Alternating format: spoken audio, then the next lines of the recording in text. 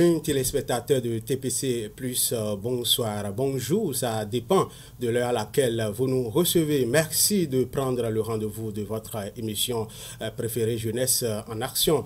Euh, ce numéro qui se veut être une émission spéciale. Oui, travailler à réduire considérablement le taux de chômage dans notre pays, le Bénin, sur le continent africain. C'est l'objectif que vise la plateforme de solidarité internationale en collaboration avec euh, les jeunes engagés pour les jeunes engagés pour la solidarité, la paix et le développement JESPD. Euh, ces derniers font de l'insertion professionnelle euh, des jeunes une préoccupation majeure. C'est pour comprendre l'objectif dans lequel ce programme s'inscrit pour décortiquer le contour de ce programme Go que nous avions invité pour vous, euh, téléspectateurs. Euh, deux invités, ils sont déjà avec moi sur le plateau. Euh, Madame Adjetei Aïnlé, vous êtes la coordinatrice du programme PSI France Bénin. Bonjour, bonsoir. Bonjour et bonsoir, Laurent. Comment vous allez? Ça va très bien. Merci d'avoir accepté notre invitation. C'est un honneur et une joie d'être là et merci aux auditeurs, aux auditeurs aussi. Alors, nous sommes également avec M. Euh, Monsieur Epiphane. Euh, Monsieur Epiphane euh, Odon Lamy, vous êtes le président de l'ONG JESPD. Bonsoir et merci d'avoir accepté notre invitation. Merci, Monsieur le journaliste, et bonsoir à tous les auditeurs. Alors, euh, chers internautes, euh, comme je le disais tantôt, euh, le thème autour duquel nous allons, nous allons discuter ce soir, c'est ce programme Go, insertion professionnelle des jeunes pour par le volontariat international. Alors, madame, dites-nous, quand nous prenons le programme Go, que peut-on comprendre à travers ce programme? Alors, ce qu'on peut comprendre déjà, c'est euh, peut-être euh, l'une des volontés de la plateforme de solidarité internationale, donc PSI, euh, de changer le monde, de rendre ce monde meilleur et de permettre à chacun de trouver sa place. Ça, c'est la première des choses qu'on peut mhm. comprendre. Parce que PSI a pour objectif à trois actions. La première action, c'est l'engagement citoyen et les jeunes. Mhm. La deuxième action, c'est la formation. Et la troisième action, ce sont des projets de solidarité internationale. Et dans les projets de formation et les projets qui concerne les jeunes et la citoyenneté. Le programme Go en fait partie. L'idée, c'est euh, l'insertion des jeunes par la mobilité, parce que nous, nous pensons que la mobilité va permettre aux jeunes non seulement d'aller rencontrer d'autres jeunes d'Europe et du monde, mhm. et donc du coup euh, de développer ses compétences, euh, de développer aussi son ouverture d'esprit, parce qu'aujourd'hui ne pas avoir d'ouverture d'esprit, ne pas être multi-compétences, et bah du coup ça empêche le travail. Donc l'idée c'est vraiment de, de développer ce genre de projet qui permet aux, jeunes de développer leurs compétences sociales, professionnelles et interculturelles. Alors, Monsieur Pifane, vous, vous êtes africain, vous êtes béninois, euh, vous êtes le euh, président de l'ONG euh, JESPD. Alors, dites-nous, puisque c'est vous qui accueillez ces jeunes volontaires qui sont dans notre pays, le Bénin, pourquoi aviez-vous accepté votre ONG collaborer avec ce programme? Ok, merci monsieur le. D'abord, l'une des missions de notre ONG, c'est d'encourager les jeunes au volontariat, mhm. que les jeunes puissent s'engager et puissent jouer une part active dans la construction de la cité. Et en tant que jeunes, c'est que nous devons avoir une part de responsabilité dans la construction de notre cité. Et c'est ce qui nous a amené à nous engager de ce programme, qui est un programme d'engagement citoyen des jeunes. Et le programme Go pour nous, eh, c'est un programme qui favorise la rencontre entre des jeunes de différentes cultures et qui peuvent se rencontrer et ensemble travailler pour changer quelque chose, pour créer un impact positif. Ce n'est pas facile d'abord quand on est de différentes cultures de travailler ensemble. Mais quand euh, vous êtes de différentes cultures, vous vous rassemblez pour créer un impact, c'est que d'abord vous acceptez, vous allez le vivre ensemble. Et l'autre chose, c'est de faire des jeunes des citoyens du monde faire des décisions, disons, je peux être béninois et aller mener des actions de développement communautaire au Burkina, mhm. en France, n'importe où. C'est que je me sens chez moi. Je suis un citoyen du monde, je peux contribuer au développement dans tout l'espace où je suis. Voilà ce qui nous a amené à nous engager ce programme qui favorise quand même la rencontre entre des jeunes Français et des jeunes béninois et qui, ensemble, se disent nous-mêmes, nous voulons faire telle chose. Parce que toutes les activités que nous allons mener, ça provient des jeunes qui sont dit nous voulons nous rencontrer, voilà, voilà sur nos compétences, ce que nous pouvons apporter.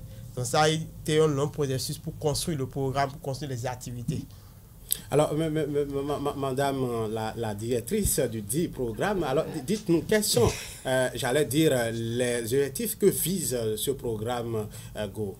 Alors, les objectifs, il faut savoir que le programme Go, c'est un programme sur quatre mois. Mhm. Et chaque mois a un thème précis. Le premier mois, les jeunes, en tout cas en France, tel qu'il est fait actuellement, euh, se rencontrent, apprennent à, tisser du, lien mhm. hein, et on découvre un peu les compétences de chacun.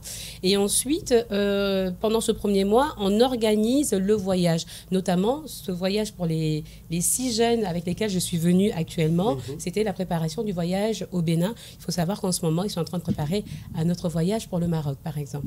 Donc, du coup, le premier mois, c'est préparation du, de la mobilité internationale. Quelles sont mes compétences? Quelles sont mes envies? Quelles sont, euh, Qu'est-ce qui me ferait plaisir à mhm. partager? Donc, on voit ça. Le deuxième mois, donc, c'est la mobilité. Et c'est ce que vivent actuellement ces six jeunes euh, qui viennent là. Donc, accompagné donc euh, de JUSPD, donc cette superbe association, parce qu'il faut savoir que ce euh, c'est pas le premier partage euh, de projet qu'on est en train de faire. La, collaboration dure il y a longtemps. Elle dure, bon bah voilà, il y a, il y a à peu près une année, mais du coup voilà, c'est pas la première, le premier projet qu'on mène ensemble et on a une grande confiance et une grande intimité avec JUSPD sur, sur déjà ce qu'ils font.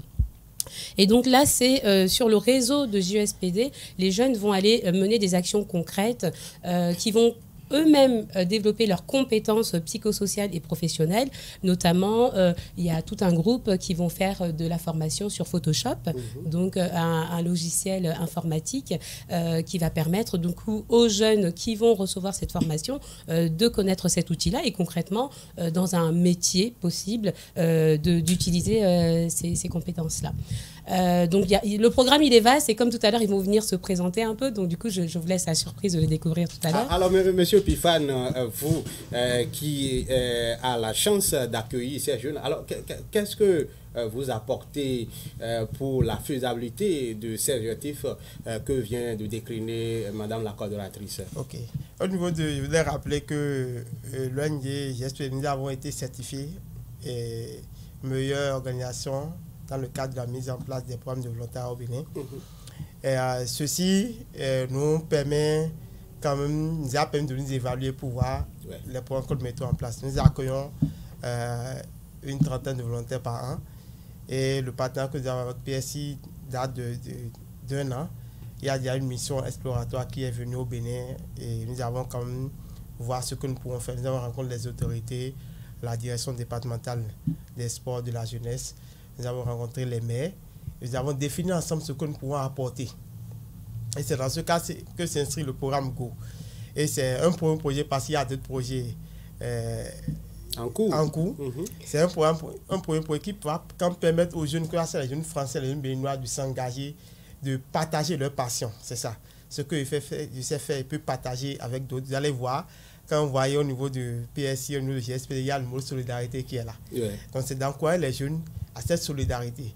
Je, sais faire quelque chose, je peux partager avec l'autre et je peux apprendre également de l'autre. En partageant avec l'autre, je peux apprendre de, l'autre. Donc, c'est ce qui nous a amené à nous engager sur ce programme. Et l'objectif après, c'est de permettre également aux jeunes béninois de faire la même expérience, de faire la même expérience et de vivre les réalités. Ça permet aux jeunes de, voir le monde autrement, de voir que euh, je peux quand même apporter quelque chose, j'ai des compétences en moi. Parce qu'il faut, quand tu ne fais pas, tu ne sais pas que tu as des compétences en toi que tu peux valoriser. Mhm. Donc quand tu rencontres l'autre, vous échangez, ah mais j'ai des compétences en moi que je peux apporter. Voilà un peu ce qui nous a engagés sur ce programme et nous pensons eh, aller loin. C'est une première expérience et il y aura d'autres vagues. Et nous profitons pour remercier particulièrement la direction départementale d'espoir en charge de la jeunesse qui nous accompagne. Parce que quand vous avez les autorités derrière vous qui vous disent foncez, vous avez, ça vous donne l'envie d'avancer. Et principalement le directeur qui est un jeune et qui, pour tout ce qu'il fait pour les organisations de jeunes, nous, le département, c'est un, un, support sur, qui nous appuyons pour développer notre programme. Et nous voudons lui dire sincèrement merci.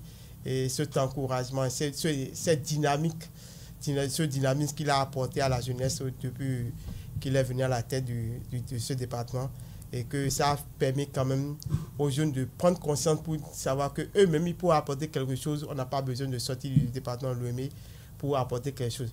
Donc voilà un peu ce que vous avez Alors, Madame la coordonnatrice, euh, quand on parle euh, d'un programme, d'un projet, euh, il y a également des, bénéficiaires. Alors, qui sont les cibles ciblées à travers ce programme? Alors, ce sont essentiellement les jeunes les jeunes qui sont parfois en décrochage scolaire, mhm.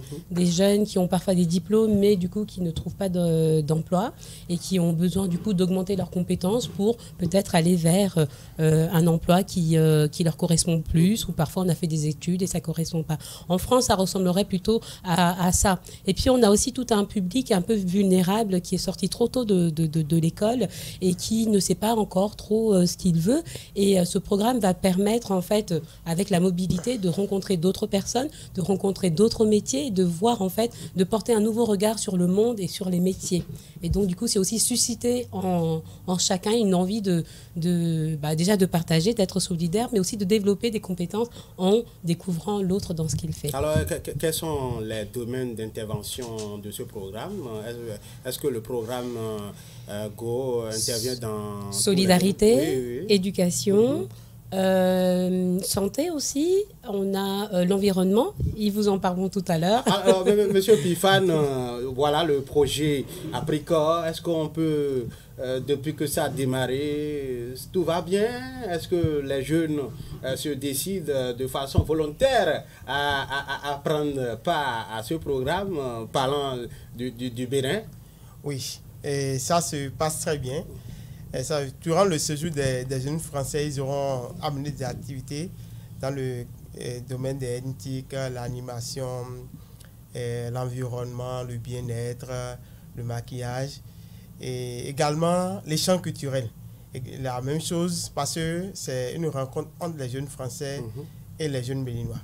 Nous, au niveau de euh, l'organisation, de notre organisation, nous avons bénéficié d'un appui du Fonds national de développement des activités de jeunesse mhm. qui nous appuie.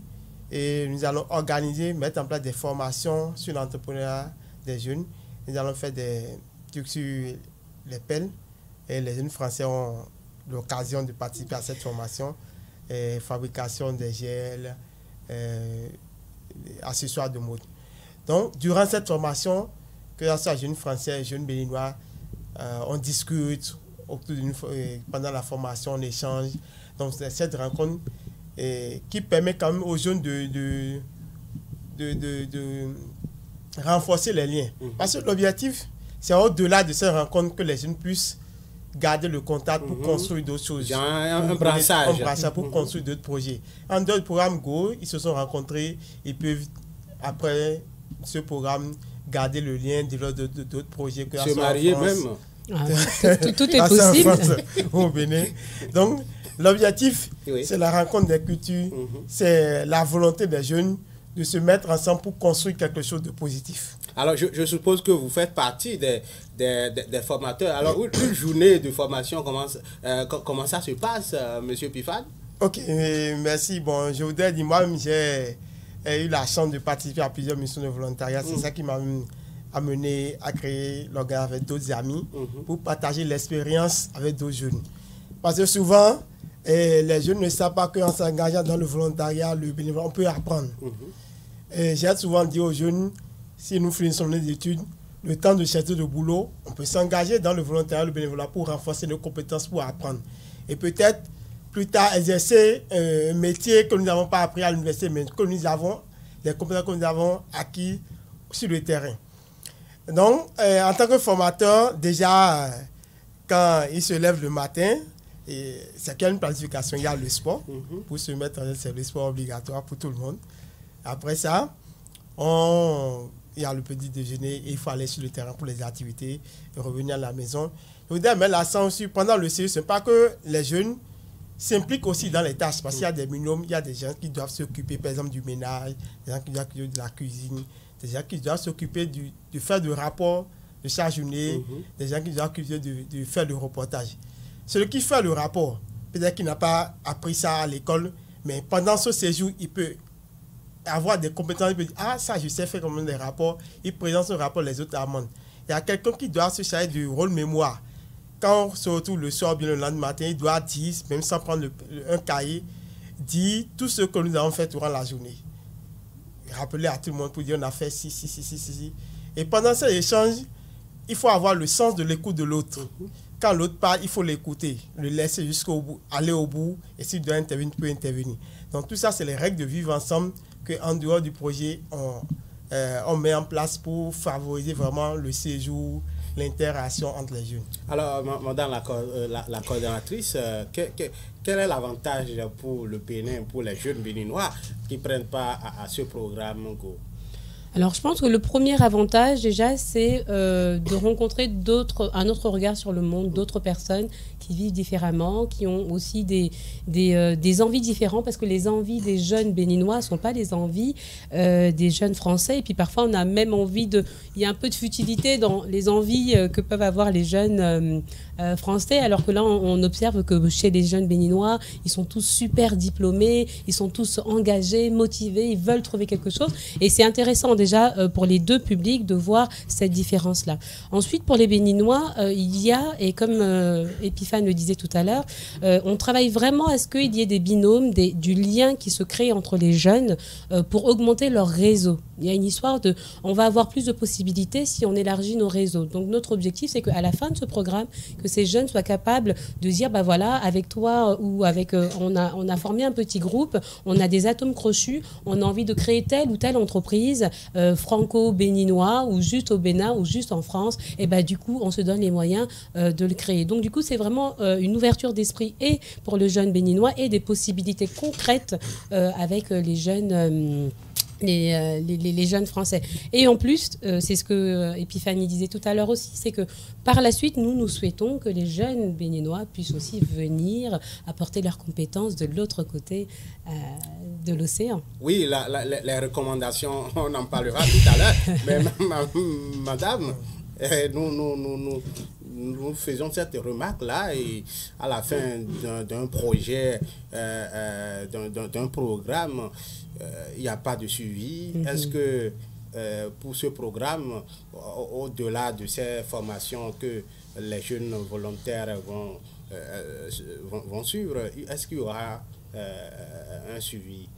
Alors oui, il y aura un suivi et c'est un peu là que PSI se positionne, c'est que euh, on est en train de mettre des outils en place qui vont permettre qu'il y ait un suivi, qui vont permettre vraiment qu'il y ait une, une, suite. Alors maintenant, c'est euh, on est dans le début hein, de ce programme-là. On est en train de euh, déjà se découvrir entre associations et puis on est en train de voir voilà comment on va fonctionner et puis en fait les procédures, par exemple, en France, ne sont pas les mêmes que les procédures ici. Donc, du coup, on est en train de découvrir tout ça pour pouvoir amener nos projets euh, vraiment euh, qui soient pérennes et qui permettent aux deux publics, en fait, de, s'enrichir, d'être autonomes et d'arriver au plein emploi. C'est quand même notre objectif. Et pour les, jeunes Français et aussi pour les jeunes béninois. Mais tout est, tout est en train de se construire et j'ai envie de dire, on a besoin de vous pour que les choses se construisent et qu'on y arrive. Tout à fait. Ce n'est pas notre accompagnement qui ferait euh, euh, ce défaut-là. Oui, euh, Monsieur Pifan, nous sommes pratiquement au thème de notre émission. Qu'avez-vous à dire pour conclure ce plateau? Je voudrais dire merci à toutes les autorités qui nous accompagnent. Mhm. Merci à la direction départementale des sports en charge de la jeunesse et des loisirs. Merci à toute l'équipe du PSI, notre partenaire français, et dire bravo à tous les jeunes Français qui sont venus, parce que ce n'est pas facile de dire je vais laisser le confort de ma maison, je vais pour un mois rencontrer d'autres cultures. Dis également félicitations aux jeunes béninois qui ont accepté participer à ce projet. C'est la rencontre de ces deux jeunes qui fait vraiment, qui donne vie à ce projet. Et je voudrais dire que euh, réitérer l'engagement de toute l'équipe de l'ONG SPD pour continuer dans ce projet. Alors, Madame euh, Agnelé, nous sommes à la fin de notre entretien. Votre mot de fin? Alors, pareillement, hein, je vais remercier, je vais d'abord remercier évidemment la, la, fondatrice, les deux fondatrices de PSI, hein, Andrea Diaz Gonzalez et Madame Palou Alice, qui ont fondé cette ONG avec leur envie de changer le monde. C'est bien pour ça qu'on est là aujourd'hui. Remercier aussi du coup tous ceux qui nous soutiennent au niveau, et notamment pour ce programme Go, au niveau de l'Occitanie, la région Occitanie-France, aussi l'Europe qui finance, vraiment, qui finance ce, ce, projet Go. Je remercie aussi JUSPD à, à travers la personne d'Epiphane qui est vraiment nous soutient énormément et qui vraiment fait tout pour qu'on puisse travailler dans des bonnes conditions. Et je remercie toutes les personnes qui sont derrière lui, euh, qui le soutiennent financièrement et qui le soutiennent au niveau infrastructure pour que nous aussi nous puissions euh, amener nos jeunes euh, pour expérimenter ce voyage. Enfin, un grand bravo aussi, tout comme Epiphane, à ces jeunes qui ont, qui ont, qui ont bravé parfois leur peur pour, pour venir euh, vers une autre culture euh, et, et, comment je veux dire, et augmenter leurs compétences avec d'autres personnes. Et puis, puis voilà. Et puis merci à vous de nous accueillir. Merci Bifane. Merci à vous de nous accueillir sur ce plateau. C'est nous, Madame euh, Agnelé, Monsieur Bifane. Merci pour votre passage euh, sur ce plateau. Oui, amis téléspectateurs, oui, ce programme Go concerne les jeunes volontaires. Mais qui sont ces jeunes que, Quelles sont les formations que ces jeunes que ces jeunes suivent dans, dans leur quotidien Nous allons les recevoir tout à l'heure, mais tout de suite après cette pause publicitaire.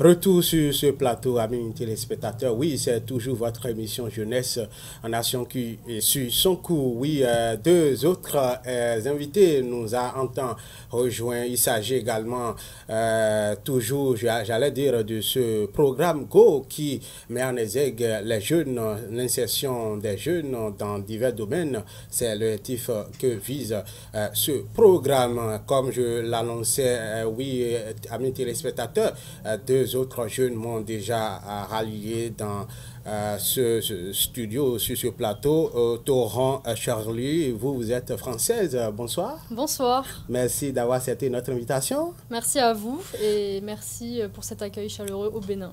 Oui, monsieur euh, Salam, j'allais dire Salem.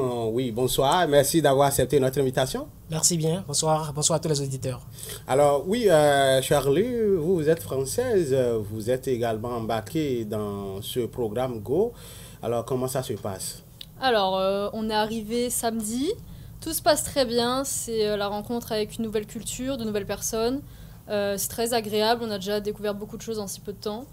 et voilà, tout va bien. Tout le monde est ravi d'être ici et d'être accueilli comme ceci. Alors, vous êtes venu comme touriste ou bien il y a des formations que vous suivez? Comment ça se passe, le volet formation de ce programme Go? Alors, on est venu tout d'abord pour euh, faire des ateliers avec des jeunes béninois. Euh, on est venu aussi faire un peu de tourisme pour rencontrer encore cette culture, voir comment est le Bénin. Euh, notamment, comme atelier, on a prévu des ateliers en fonction de nos compétences à nous. On est six jeunes français. Donc il y aura des ateliers basés sur le numérique avec Photoshop et Canva qui se dérouleront au Labis. Donc ça sera une formation de trois jours. Euh, il y aura aussi des ateliers cuisine euh, au siège de JUSPD avec euh, les jeunes béninois. Aussi au foyer Oasis. du coup, on montrera des plats de France, comment on cuisine là-bas et on leur fera goûter nos spécialités. il y aura aussi des ateliers maquillage, de bien-être au siège et aussi au foyer Oasis avec les jeunes filles. On a eu la chance aussi de faire une formation perlage avec les jeunes béninois au Labis. Donc on a beaucoup appris et ça nous a beaucoup apporté pour nous-mêmes après euh, en France pouvoir faire des ateliers grâce à cette formation qu'ils nous ont apporté. Euh, nous aurons aussi euh, des activités telles que des cafés linguistiques en mhm. espagnol et en anglais qui se dérouleront au Labis, mais aussi à la Maison des Jeunes du 4e arrondissement. Il y aura aussi des ateliers sport comme le foot. au foyer Oasis aussi. Et nous aurons aussi un atelier sur l'environnement. Donc on, aura, on installera un compost et on fera aussi un germoir pour sensibiliser les jeunes euh, à la cause environnementale et aussi euh, à respecter le tri des déchets et expliquer comment ça se passe. Là, on, se rend compte qu'il y a beaucoup d'activités qui sont prévues euh, dans le cadre de ce projet. Oui, monsieur Salem, vous, vous êtes béninois, vous êtes également, vous prenez pas à, ce projet. Pourquoi, en tant que béninois, vous vous êtes intéressé à ce projet go, Ok, merci beaucoup. Tout d'abord, je commence par une citation de Franz Fanon qui disait Toute génération doit, dans une relative opacité, découvrir sa mission, la trahir ou la remplir. Et donc, je fais partie de ces jeunes-là qui pensent qu'en tant que citoyen, il faut s'engager pour agir dans la communauté. Il ne faut pas tout laisser à la charge de l'État. En tant que citoyen déjà, il faut s'engager dans les actions, dans la vie associative. Et du coup, c'est ça qui a fait que depuis euh, quelques années, je me suis engagé dans la vie associative, ce qui a fait que je suis avec euh, l'ONG JSPD, au sein duquel je suis le secrétaire général adjoint, où nous faisons beaucoup d'activités. Alors, euh, au-delà de cette ONG, vous, euh, vous êtes membre également, vous faites partie de ce programme GO, euh, depuis que ça a démarré, comment ça se passe, vous, en tant que Béninois, l'insertion? Parce que euh, ce programme réunit, au-delà des Béninois, des Français et d'autres euh, ressortissants sur le continent africain. Évidemment. Et donc, depuis que nos camarades bénévoles français sont venus, mhm. il faut dire qu'il y a une atmosphère de joie et parce que les discussions, c'était juste en ligne. C'était via Zoom, on discutait. Et du coup, dès qu'ils sont arrivés, on était contents. Et on a commencé à travailler ensemble. Comme Charlie la disait tout à l'heure, on était au Labis, où on a fait une formation sur la fabrication des objets en perles. On était hier euh, au niveau de notre bibliothèque à Djegandaro. Donc, euh, au niveau, on a essayé de faire des ateliers de lecture, euh, voilà, avec les enfants. Il faut dire qu'au niveau de notre bibliothèque, c'est un espace ami des enfants. C'est un projet qui a été mis sur pied grâce à l'appui de l'UNICEF et de la Maison de la civile. Donc, euh, tout autour euh, des activités là, on fait beaucoup de choses. Il faut dire, les bénévoles français sont là. Nous, béninois, on est aussi là. Mais quel est le but? C'est de pouvoir agir ensemble. Mhm. Et pour cela, tout à l'heure, Charlie a présenté plusieurs ateliers mhm. qui, qui, seront déroulés. De notre côté aussi au Bénin, on a concocté plusieurs ateliers.